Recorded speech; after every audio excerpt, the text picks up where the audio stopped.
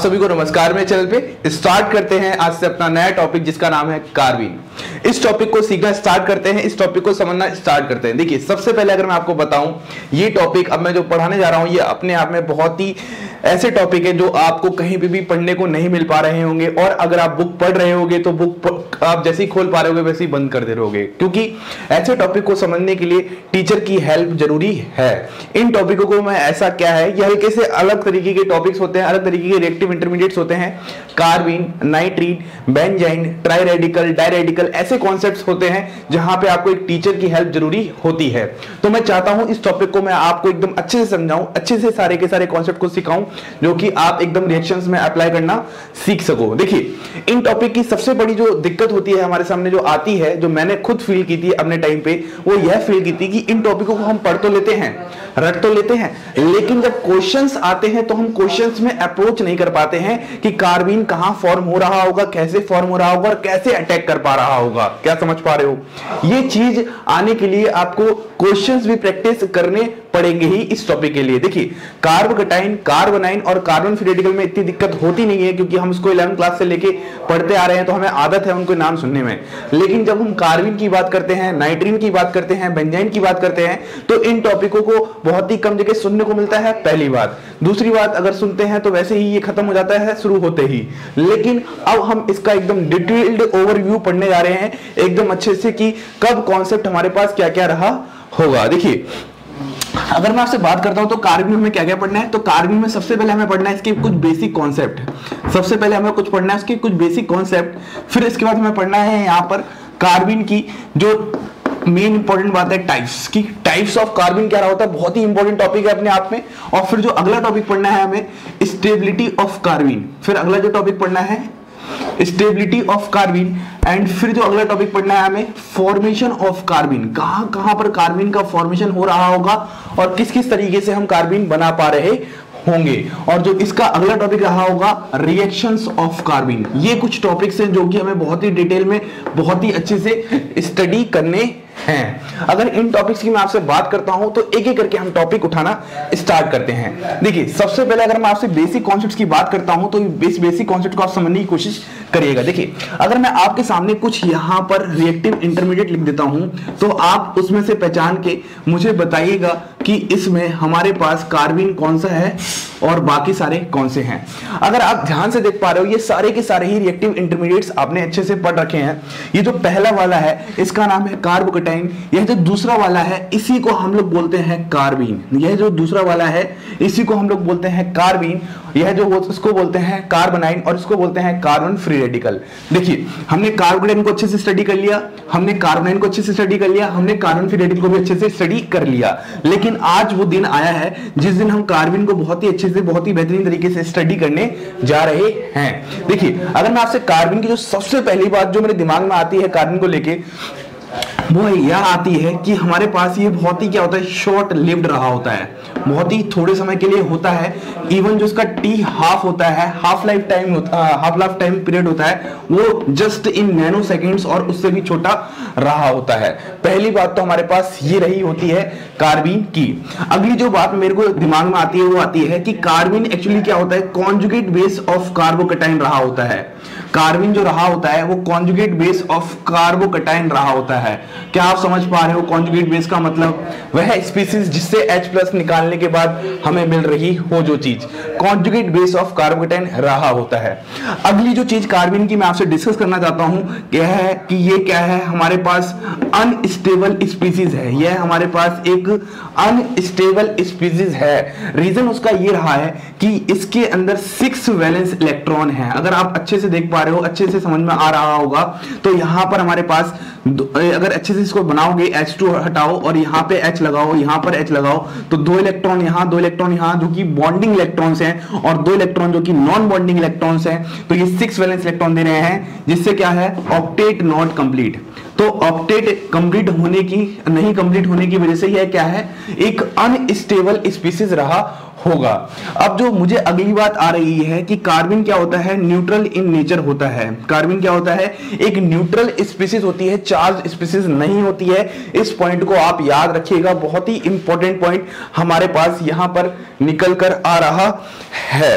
तो ये इसकी वजह से हमारे पास ये कॉन्सेप्ट सारा का सारा रहा होगा। अगर ये आप सारा कॉन्सेप्ट समझ पा रहे हो एकदम अच्छे से, जो सबसे मेन बात है कि ये बिहेव एज इलेक्ट्रोफाइल कर पा रहा होता है। बिहेव एज इलेक्ट्रोफाइल कर पा रहा होता है। मतलब कि क्यों? क्योंकि ये एक इलेक्ट्रॉन डेफिशिएंट स्पीसीज है, क्योंकि सिक्स वैलेंस इलेक्ट्रॉन है, इसलिए इलेक्ट्रोफाइल बिहेव कर पा रहा होगा। मतलब इस पे हमेशा न्यूक्लियोफाइल अटैक करना चाह रहा होगा। ऑलवेज न्यूक्लियोफाइल अटैक करना चाह रहा होगा। क्या आप इस बात को समझ पा रहे हो? यह जो बात मैंने आपको न्यूट्रल वाली बताई है, इस बात को मैं आपको फॉर्मल चार्ज से समझाने की कोशिश करता हूँ। अगर मैं आपको फॉर्मल चार्ज निकाल के बताऊँ इस कार्बिन का तो फॉर्मल चार्ज क्या होता है? सबसे पहले आप वैलेंस इलेक्ट्रॉन देखिए, इस कार्बन के वैलेंस इलेक्ट्रॉन अगर आप टोटल बैलेंस इलेक्ट्रॉन देख पा रहे हैं तो हमारे पास फोर बैलेंस इलेक्ट्रॉन रहे होते हैं। अगर बैलेंस इलेक्ट्रॉन के बाद अगर आप देखोगे, फिर माइनस इसमें से करना होता है हमें बॉन्डिंग इलेक्ट्रॉन्स अगर आप देख पा रहे हो तो हमारे पास क्या होते हैं बॉन्ड पेयर जो होते हैं हमारे पास, वो यहाँ पर हमें माइनस कर रहे होते हैं।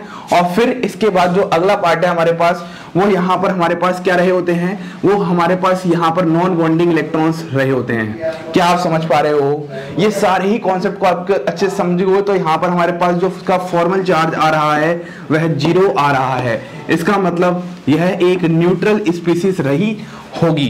आई होप आपको ये सारे कॉन्सेप्ट बहुत ही अच्छे से कार्बिन के समझ में आ रहे होंगे। अब ये क्या है? शॉर्ट लिफ्ट है। इसका half life time T half just like nano second में है। तो इसीलिए यह एक हाईली रिएक्टिव स्पीसीज रही होगी। इसीलिए यह एक हाईली रिएक्टिव स्पीसीज रही होगी। यह इतनी सारी बातें जो अभी तक हमने की हैं, यह हमारा कार्बन का एक छोटा सा बैकग्राउंड जो मैंने आपके सामने बना के तैयार कर दिया है। अब मैं आपको एक अगली टॉपिक की तरफ़ लेके चलता हूँ, जिसका नाम है हमारे पास टाइप्स ऑफ़ कार्बिन हमने अपना पहला टॉपिक पढ़ लिया है टाइप्स ऑफ़ बेसिक कॉन्सेप्ट अब हम पढ़ने जा रहे हैं टाइप्स ऑफ़ कार्बिन देखिए टाइप्स ऑफ़ कार्बिन को अगर मैं आपको पढ़ाने की कोशिश करता हूँ समझाने की कोशिश करता हूँ तो आप सबसे पहले यह सीखिए कि कार्बिन को किस बेसिस पे क्लासिफाई किया गया है? अगर मैं आपको अच्छे से समझाऊं, अच्छे से सिखाऊं तो हमारे पास यहाँ पर जो इलेक्ट्रॉन्स हैं, यह जो इलेक्ट्रॉन्स हैं, इनको हम लोग बोलते हैं नॉन बॉन्डिंग इलेक्ट्रॉन्स यह जो इलेक्ट्रॉन्स हैं, इनको हम लोग बोलते हैं नॉन बॉन्डिंग इलेक्ट्रॉन और यह जो इलेक्ट्रॉन्स इनको बोलते हैं हम लोग बॉन्डिंग इलेक्ट्रॉन्स तो on the basis of non bonding electrons classify को दो तरीके से डिवाइड किया गया है क्लासिफाई किया गया है। एक तो होता है हमारे पास सिंगलेट कार्बिन और एक होता है हमारे पास ट्रिपलेट कार्बिन तो हमारे पास दो तरह के कार्बिन होते हैं। एक कार्बिन सिंगलेट कार्बिन एक कार्बिन ट्रिपलेट कार्बिन देखिए, सिंगलेट कार्बिन की अगर मैं आपसे पहली बात करता हूँ तो यहाँ पर क्या होते हैं? इलेक्ट्रॉन पेयर्ड होते हैं। यहाँ पर क्या होते हैं? हमारे पास इलेक्ट्रॉन पेयर्ड रहे होते हैं। और अगर मैं आपसे दूसरी बात करता हूँ, इसकी not detected by ESR not detected by electron spin resonance यह इलेक्ट्रॉन स्पिन रेजोनेंस से डिटेक्टेड नहीं किए जा सकते, क्योंकि ये पेड इलेक्ट्रॉन्स रहे होंगे। और अगर मैं आपसे अगला जो बहुत ही इंपॉर्टेंट कॉन्सेप्ट रहा है, इसका स्ट्रक्चर इस सिंगलेट कार्बिन का, जो कि हमारे पास क्या रहा होता है, कुछ इस तरीके से रहा होता है सी एच एच और हमारे पास यहाँ पर क्या रहा होता है यहाँ पर कुछ इस तरीके से, इस तरीके से हमारे पास ये पेड इलेक्ट्रॉन्स रहे होते हैं। क्या आप समझ पा रहे हो? तो इसका मतलब अगर मैं आपसे पूछता हूँ, इसकी हाइब्रिडाइजेशन क्या रही होगी हमारे पास? तो आप आराम से बता सकते हो, इसकी हाइब्रिडेशन इस कार्बन की sp2 रही होगी और यह एक ट्राइगोनल प्लेनर है। और सबसे इंपॉर्टेंट बात अगर मैं आपको बताऊँ, यह जो बॉन्ड एंगल है, यह bond angle something 100 to 110 degree के बीच में रहा है। क्या आप समझ पा रहे हो? यह स्ट्रक्चर ऑफ़ सिंगलेट कार्बिन हमारे पास रहा है। इसी तरीके से अगर मैं आपसे अगली बात करता हूँ, अगला कॉन्सेप्ट समझाता हूँ ट्रिपलेट कार्बिन के बारे में तो सबसे पहली बात, यहाँ पे क्या होते हैं? इलेक्ट्रॉन अनपेड रहे होते हैं। यहाँ पर इलेक्ट्रॉन्स क्या होते हैं हमारे पास? अनपेड रहे होते हैं। अगली बात अगर मैं आपसे बताऊँ डिटेक्टेड बाय ईएसआर यह इलेक्ट्रॉन स्पिन रेजोनेंस से आराम से डिटेक्टेड किए जा सकते हैं। तीसरी बात अगर मैं आपको समझाऊं, इसके स्ट्रक्चर को समझाऊं तो इसके स्ट्रक्चर में बस थोड़ा सा यहाँ पर फ़र्क ये रहा होता है कि यहाँ पर जो इलेक्ट्रॉन्स होते हैं, वो अनपेड फॉर्म में मौजूद होते हैं। मतलब एक इसमें रहा होगा और एक इसमें रहा होगा। इसकी भी अगर मैं आपसे हाइब्रिडेशन की बात करता हूँ तो यहाँ पर इसकी भी हाइब्रिडेशन हमारे पास sp2 रही होती है। है। लेकिन अगर मैं बॉन्ड एंगल की बात करता हूँ तो यहाँ पर जो बॉन्ड एंगल है, वो समथिंग एक 130 डिग्री टू 150 डिग्री रहा होता है। इस तरीके से हमारे पास on the basis of non bonding electron दो तरह की कार्बिन होती है, एक सिंगलेट कार्बिन और एक ट्रिपलेट कार्बिन देखिए, इनका नाम सिंगलेट और ट्रिपलेट क्यों पड़ा है, इस चीज़ को हम सीखना स्टार्ट करते हैं। नोट में इस चीज़ को हम सीखना स्टार्ट करते हैं। इनका नाम सिंगलेट और ट्रिपलेट क्यों पड़ा है? देखिए, अगर मैं आपको स्पिन मल्टीप्लिसिटी के बारे में बताऊँ, अगर मैं आपको स्पिन मल्टीप्लिसिटी के बारे में बताऊँ तो आपने पढ़ा होगा, इसका फॉर्मूला होता है हमारे पास टू एस प्लस वन। ये आपने पढ़ा होगा, two S plus one is known as spin multiplicity. जहाँ पे एस स्टैंड फॉर कि उसकी जो स्पिन की वैल्यू रही होगी वो क्या रही होगी। अगर इसके बेसिस पे मैं डिफाइन करूँ, अगर मान लीजिए यहाँ पर जो एस की वैल्यू है, वह ज़ीरो रही होगी। मतलब कि जो इलेक्ट्रॉन्स होंगे, वो यहाँ पर पेयर्ड रहे होंगे, जिसकी वजह से यह प्लस हाफ़ रहा होगा या माइनस हाफ़ रहेगा प्लस हाफ़ माइनस हाफ़ जो यहाँ पर स्पिन वैल्यू देंगे वो ज़ीरो देंगे। अगर इस वैल्यू को आप इसमें पुट करेंगे तो two into zero plus one is equal to one तो यह वन जो आ रहा है, इसी बेसिस पे इसको नाम दे दिया गया है सिंगलेट तो इसी तरीके से सिंगलेट कार्बिन में जो स्पिन की यहाँ पर वैल्यू रही होगी वो ज़ीरो रही होगी तो स्पिन मल्टीप्लिसिटी यहाँ पर वन रही होगी। इसी तरीके से अगर मैं आपसे बात करता हूँ, यहाँ पर जो स्पिन की वैल्यू है हमारे पास, वह रही होगी वन स्पिन की जो वैल्यू है वन कैसे रही होगी? क्योंकि यहाँ पर अलग अलग पी ऑर्बिटल में मौजूद है हमारे पास, एक इलेक्ट्रॉन यहाँ है तो एक इलेक्ट्रॉन यहाँ है, जिसकी वजह से यहाँ पर जो हमारे पास यहाँ पर जो हमारे पास प्लस हाफ़ और प्लस हाफ़ करके वन वैल्यू आ रही होगी स्पिन की। तो अगर मैं इसको इस फॉर्मूले में पुट करता हूँ तो two into one plus one is equal to three और यह जो थ्री आ रहा है, इसी बेसिस पे इसको नाम दे दिया गया है ट्रिपलेट कार्बिन क्या आप समझ पा रहे हो कि यह सिंगलेट और ट्रिपलेट का जन्म कहाँ से हुआ? है। तो यह बात तो हमने सारी की सारी एकदम बढ़िया तरीके से कर ली। क्या सीखा अभी तक हमने? कार्बिन की कुछ इंपॉर्टेंट बातें जानी, जिसमें सबसे पहली बात हमने जानी कि वह वो बहुत ही हाईली रिएक्टिव स्पीसीज रहा होता है और बहुत ही शॉर्ट लिव्ड रहा होता है। दूसरी बात हमने यह जानी कि वह अनस्टेबल रहा होता है बिकॉज़ उसका ऑक्टेट कंप्लीट नहीं हुआ होता है। तीसरी बात हमने यह जानी कि वह न्यूट्रल इन नेचर रहा होता है इलेक्ट्रोफाइल की तरह बिहेव कर रहा होता है। ये कुछ बातें हमें बहुत ही इंपॉर्टेंट थी कार्बिन के बारे में। जानने की। फिर हमने जानना सीखा कि टाइप्स ऑफ़ कार्बिन क्या होती हैं। तो दो तरह की कार्बिन होती है। एक होती है सिंगलेट कार्बिन और एक होती है ट्रिपलेट कार्बिन यह जो टाइप है, यह नॉन बॉन्डिंग इलेक्ट्रॉन के हिसाब से किया गया है। अगर आप सिंगलेट कार्बन के देखोगे तो यहाँ पर एक ही प्योरिटल में क्या है पेड इलेक्ट्रॉन है और यहाँ पर अलग अलग प्योरिटल में क्या है अनपेड इलेक्ट्रॉन है। तो इतनी बात आपको सिंगलेट और ट्रिपलेट के बारे में आनी चाहिए। अब मैं आपसे एक छोटी सी बात करना चाहता हूँ। स्टेबिलिटी ऑफ़ कार्बिन देखिए, अगर मैं आपसे स्टेबिलिटी ऑफ़ कार्बिन की बात करता हूँ तो हमारे पास दो फैक्टर रहे होते हैं जिसके बेसिस में हम स्टेबिलिटी ऑफ़ कार्बिन बता पा रहे होते हैं। सबसे पहला जो एक फैक्टर रहा होता है, वो फैक्टर हमारे पास रहा होता है स्टेबिलिटी ऑफ़ कार्बन को हम पढ़ने जा रहे हैं। सबसे पहला जो फैक्टर रहा होता है, और फिर दूसरा फैक्टर रहा होता है। सबसे पहला फैक्टर होता है हमारे पास spin multiplicity on the basis of spin multiplicity हम लोग आराम से बता सकते हैं वह कार्बिन क्या है। स्टेबल कौन सी रही होगी तो अगर मैं आपको बताऊँ on the basis of spin multiplicity तो हमारे पास जो ट्रिपलेट कार्बिन है, वह ज़्यादा स्टेबल रही होगी as compared to singlet carbene क्यों भाई? आप खुद देखो, अगर आप ट्रिपलेट कार्बिन का स्ट्रक्चर देखोगे तो वहाँ पर दो अलग अलग प्योरिटल में क्या है? अनपेड इलेक्ट्रॉन है। अगर आप सिंगलेट कार्बिन देखोगे तो वहाँ पर क्या है? पेड इलेक्ट्रॉन है, जिसकी वजह से हमारे पास इसमें रिपल्शन ज़्यादा रहा होगा। तो ट्रिपलेट कार्बिन क्या है? ज़्यादा स्टेबल है because of less repulsion because of less repulsion तो ये एक हमारे पास पहला पैरामीटर हो गया स्टेबिलिटी ऑफ़ कार्बिन का।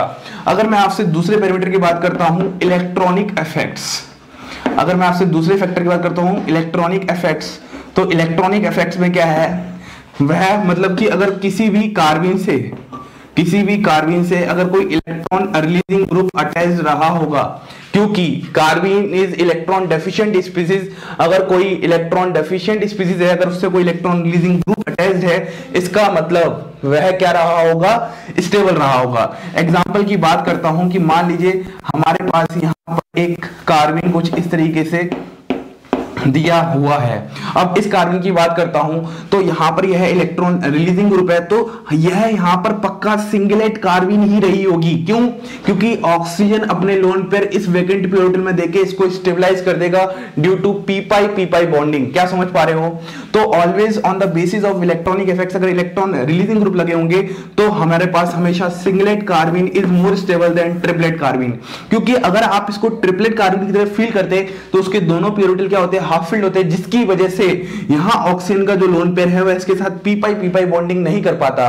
तो ये गारंटी के साथ यह हमारे पास सिंगलेट कार्बिन रही होगी, क्योंकि यहाँ पर एक वैकेंट प्योरिटल होने की वजह से क्या हो रहा है P pi P pi bonding हो पा रही और स्टेबिलाईजेशन आराम से हो पा रहा है। और यही बैक बॉन्डिंग का एक कारण है, क्योंकि है एक इलेक्ट्रॉन डेफिशिएंट स्पीसीज थी तो इसकी तमन्ना रही होगी इलेक्ट्रॉन लेने की। तो वो इलेक्ट्रॉन बैक बॉन्डिंग के थ्रू भी ले सकती है।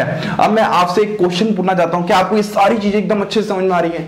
सारे कॉन्सेप्ट एकदम अच्छे समझ में आ रहे हैं। अब मैं आपको एक जो कॉन्सेप्ट बताना चाहता हूँ, वह क्वेश्चन कुछ एक कराता हूँ, कि आपसे पूछता हूँ, बताइए इनमें सबसे स्टेबल कार्बिन कौन सी रही होगी? अगर मैं आपसे क्वेश्चन पूछू, बताइए। हमारे पास एग्ज़ाम्पल है कुछ सी एफ़ टू अगला है हमारे पास सी सी एल टू फिर अगला है हमारे पास सी बी आर टू और फिर अगला है हमारे पास सी आई टू यह है हमारे पास कार्बिन है। मैं आपसे क्वेश्चन पूछता हूँ कि बताइए, इनमें सबसे स्टेबल कार्बिन कौन सा रहा होगा? तो यह चीज़ देखने के लिए आप तो यह देखिए कि यहाँ पर टूपी टूपी बैक बॉन्डिंग होगी क्योंकि सब पे लोन पे रहे क्या फील कर पा रहे हो? सारे ही एटम जो यहाँ पे लगे हुए हैं, सब पे क्या है? लोन पेयर है और यहाँ पर वैकेंट ऑर्बिटल है। सारी की सारी सिंगलेट कार्बिन है। तो यहाँ पर ये दे रहा होगा। तो यहाँ पे टू पी टू पी है। यहाँ पे टू पी थ्री पी है। यहाँ पे टू पी फोर पी है और यहाँ पे टू पी फाइव पी है। और आपको पता है, जितना बढ़िया मतलब यहाँ पर अफेक्टिव ओवरलैपिंग उतना बढ़िया वहाँ पर डोनेशन और उतनी बढ़िया वहाँ पर स्टेबिलिटी ऑफ़ कार्बिन रही होगी। इसी तरीके से मैं आराम से बता सकता हूँ, यह कार्बिन इस तरीके से स्टेबिलिटी ऑर्डर रख पा रही होगी। अगर मैं आपसे अगले क्वेश्चन की बात करता हूँ, एक अगला क्वेश्चन अगला कॉन्सेप्ट है कि बताइए, हमारे पास यहाँ पर कुछ इस तरीके से ये कार्बिन दी हुई है और इस तरीके से हमारे पास ये सारे के सारे कॉन्सेप्ट्स दिए हुए हैं। तो आप मुझे बताना कि हमारे पास कौन सा कार्बिन रहा होगा इनमें से स्टेबल। अगर मैं आपसे इसकी बात करता हूँ तो यहाँ पर मैं आराम से बता सकता हूँ कि यहाँ पर लोन पे रहे, यहाँ पर बैक बॉन्डिंग के पूरे पूरे चांसेस हैं तो हमारे पास यहाँ पर singlet carbene is more stable than triplet carbene क्योंकि अभी अभी हमने इलेक्ट्रॉनिक इफेक्ट्स वाले पार्ट में यही तो बात की थी, क्योंकि यहाँ पर जब वैकेंट पीरियड रहा होगा, तभी तो वो डोनेशन कर पा रहा होगा। अगर ट्रिपलेट कार्बिन होगी तो वहाँ तो दोनों ही हाफ़ फ़ील्ड पीरियड रहे होंगे तो वहाँ पर डोनेशन नाम की भी चीज़ नहीं हो पा रही होगी। इसी तरीके से यहाँ पे भी डोनेशन हो रहा होगा तो singlet is more stable than triplet और इस वाले में अगर बात करता हूँ तो triplet is more stable than singlet क्योंकि यहाँ पर कोई बैक बॉन्डिंग होने के चांसेस है नहीं. इसलिए यहाँ पर हम लोग क्या लगाएँगे? हम लोग यहाँ पर स्पिन मल्टीप्लिसिटी वाला कॉन्सेप्ट लगा रहे होंगे. ये बात हमने कर ली है. अब एक और बात अगर मैं आपसे पूछूँ, एक और बात अगर मैं आपको बताऊँ, नोट में वो है बात मैं आपको बताना चाहता हूँ, और बात कुछ इस तरीके से है कि हमेशा आप याद रखना, हमेशा आप याद रखना, वो याद यह रखना है हमें, हमेशा, कि अगर मान लो हमारे पास कुछ इस तरीके से कोई कॉन्सेप्ट आ रहा है, यहाँ पर हमारे पास कार्बिन है और यहाँ पर नाइट्रोजन है, और इससे हमारे पास वो लगा हुआ है, कुछ भी ब्रिज हेड कंपाउंड टाइप का कुछ लगा हुआ है। हमारे पास ये खतरनाक सा, डरावना सा स्ट्रक्चर में जानबूझ के बना रहा हूँ, लेकिन आप डरिएगा मत। अगर मैं इससे बात करता हूँ, इस वाले केस में तो आप बताइए यहाँ पर कौन सी कार्बिन रही होगी। तो ऑलवेज जब भी हमारे पास स्टेरिक इफ़ेक्ट लगे, जब भी हमारे पास स्टेरिक इफ़ेक्ट लगे तो हमेशा वह कार्बिन सिंगलेट कार्बिन रही होती है। हमेशा वह कार्बिन ऑलवेज सिंगलेट कार्बिन रही होती है। क्या आप समझ पा रहे हो? ये सारा ही कॉन्सेप्ट आप एकदम अच्छे समझ पा रहे हो कि जब भी स्टेरिक इफ़ेक्ट का काम आए, जब भी स्टेरिक इफ़ेक्ट की बात आए तो वह हमारे पास हमेशा सिंगलेट कार्बिन ही रही होगी। ये सारी बातें अभी तक हमने की हैं तो एक बार जल्दी से रिकॉल कर लेते हैं दोबारा से। क्या सबसे पहले हमने सीखा कि कार्बिन होती क्या है, कुछ इंपॉर्टेंट बातें, और फिर हमने सीखा कि टाइप्स ऑफ़ कार्बिन हमारे पास क्या रहे, होते हैं।